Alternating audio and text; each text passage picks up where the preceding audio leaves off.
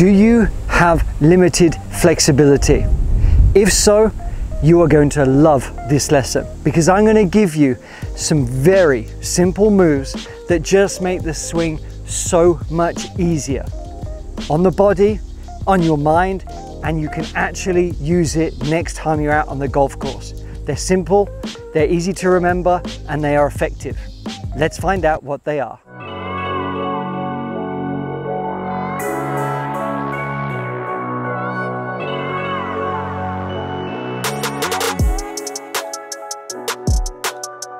Okay, my friends, so I am Alex Fortey. This is the Art of Simple Golf, and yes, I'm wearing a jazzy t-shirt today, or shirt.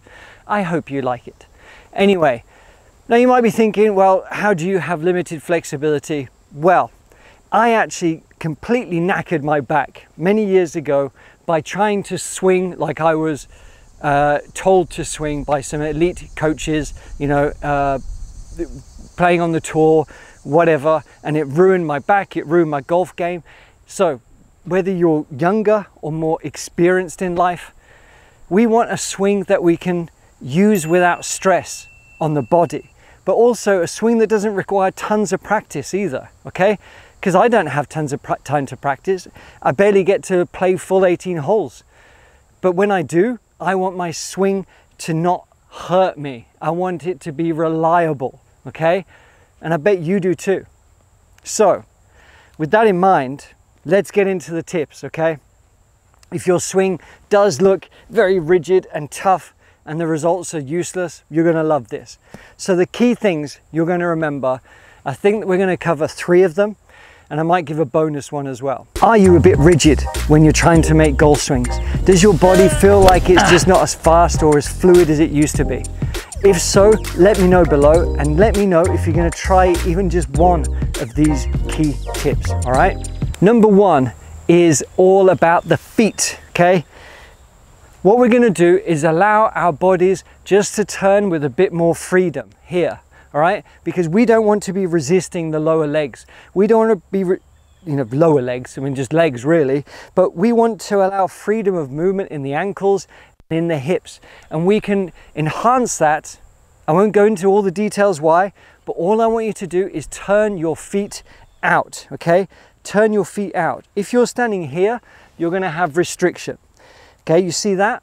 I'm going to zoom in a little bit here but if I make a swing I can suddenly feel a lot more restriction as I make my swing.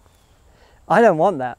If I turn my foot out even on the the right foot my backswing I have a lot more freedom to turn now on the through swing, if I turn it back out, again, I have much more freedom to be able to just swing through. Okay, it's going to be so easy. So I want you to turn your feet out about 45 degrees, a little bit more with the front foot, because that's going to help you, again, just sort of release with a bit more freedom, okay, which we're going to go into in the next part. But that's it. Just do a little checkpoint to see where you are, right, and just turn your feet out and allow those hips as you make your backswing to turn. That's the key move that we want here. Those hips are going to turn.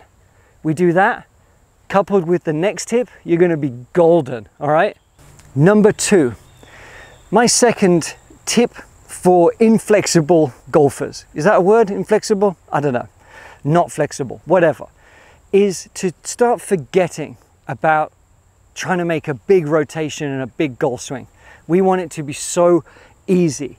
And the shorter we can make the swing, either in, you know, actually length wise, but shorter of a movement that we want to think about. Because if you're thinking about moving your shoulder all the way around here, what happens is the sway happens, crap shot happens, and we're trying to make such a big rotation, we're tight and we've got a long way to go back. So let's really make this in just a few inches type of golf swing. And the key feel is it, you know, you can either think of it as rib cage, you can think about it as the core, that the other movements, but there is an alternative that I'm going to show you. All right, so we're here, we've turned our feet out. I'm going to make my backswing, not by anything else, aside from thinking about my rib cage just turning a few inches this way, up and behind me. I'm starting the swing with the feet, my hips have turned, I'm throwing the club that way, but I'm completing my swing with my rib cage going this way, just a few inches, okay? That's the feel that works for me. And what it does, it gets me into a perfect, efficient, short golf swing that has flow and that can repeat. It, there's no tension there. As you can see, I'm waffling away as I'm making my swing. If I was to resist and try and make a big turn, okay, my voice gets strained and that's a good little sign for us, all right? So if you can natter away like I am and make a golf swing, you're in a pretty good like spot there. So the only feel I want you to have is turning this rib cage up and winding it this way here to feel like the right leg is straightening and the core is just winding up here, okay?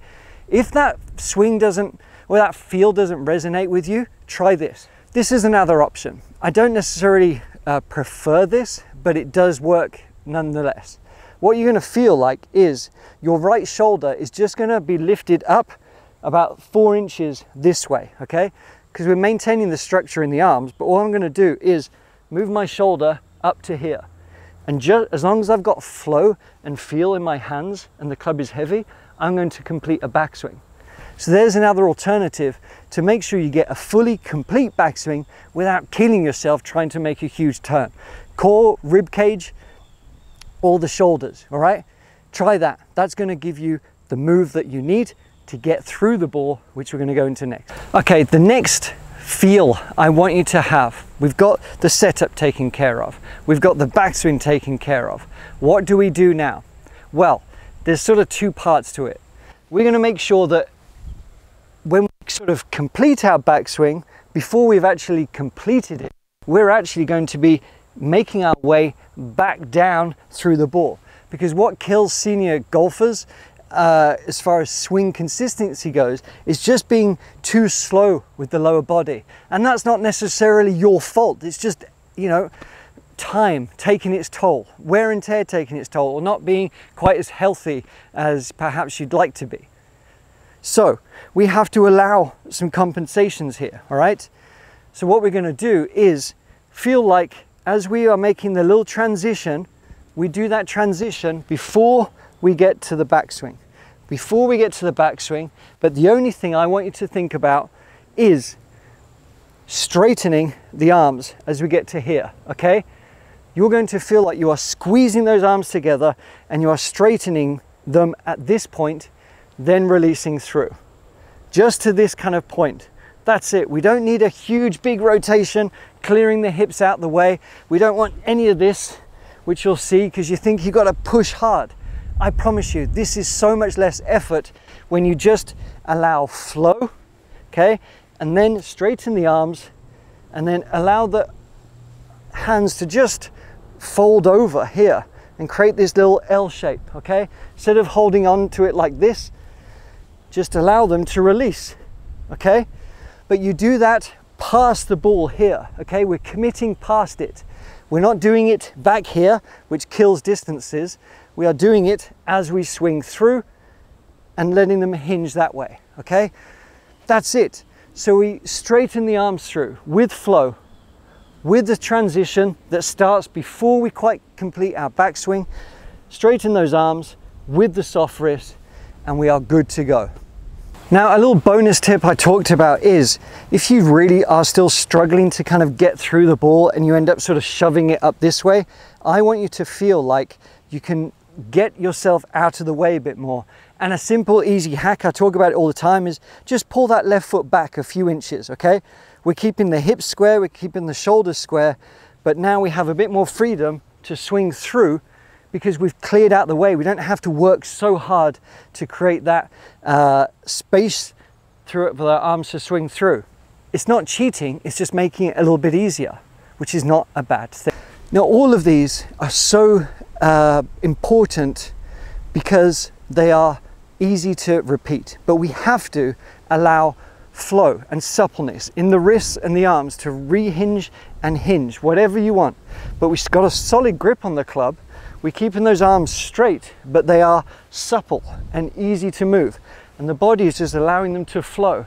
The more you can feel that, the more freedom you're going to have in your golf swing, the more consistency you're going to have in your golf swing, the more you're going to love this game for many, many beautiful years to come.